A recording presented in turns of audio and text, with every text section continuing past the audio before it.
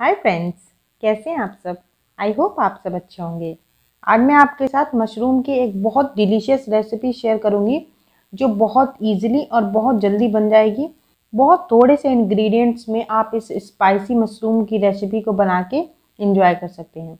तो देखते हैं अपनी रेसिपी को। सबसे पहले मशरूम लेंगे। ये 200 ग्राम्स मशरूम है। इसको देखिए, मैंने इस तरीके से पीसेस में कट कर लिया है। आप चाहें तो इसके पीस बड़े भी रख सकते हैं। थोड़ी सी ये साबुत काली मिर्च ली है, इसको इस तरीके से कूट लेंगे। इसको कूट के डालने से इसमें बहुत अच्छा फ्लेवर आएगा, इसलिए प्रिफ़र कीजिए कि काली मिर्च को पीस कर ही डालें। इसका जो पाउडर आता है वो यूज़ ना करें।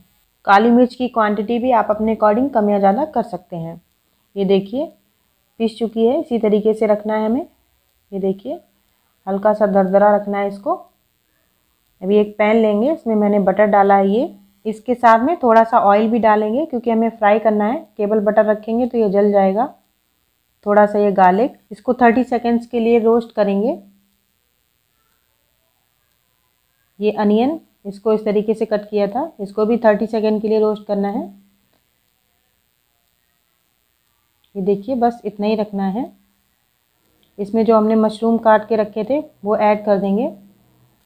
सभी चीज़ों को अच्छे से मिक्स कर लेंगे और दो मिनट तक हाई फ्लेम पे इसको रोस्ट करना है। इस तरीके से ये देखिए, अच्छे से मिक्स हो चुकी हैं सारी चीज़ें। यहाँ पर हमने जो काली मिर्च पीस के रखी थी, वो ऐड करेंगे। थोड़े से ये चिली फ्लेक्स, जितना स्पाइसी आप रखना चाहें उसी हिसाब से ऐड कीजिए। थोड़ा सा ये ऑरिगेनो है, इससे बहुत अच्छा फ्लेवर आएगा।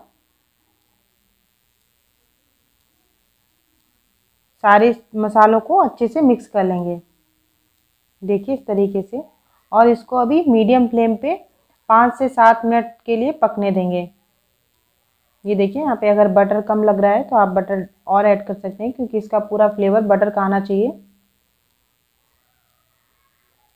देखिए बीच बीच में आप इस तरीके से चलाते रहेंगे।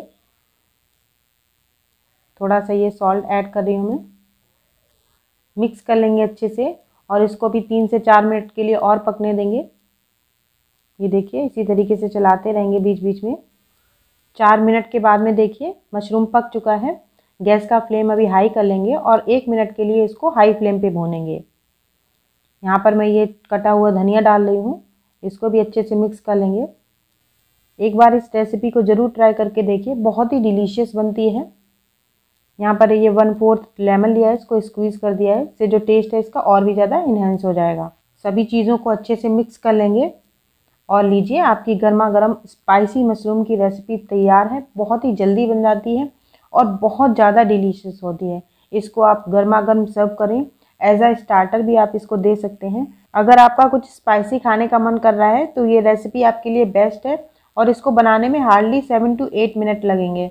बहुत ईजिली और बहुत जल्दी आप इसको बना के खा सकते हैं।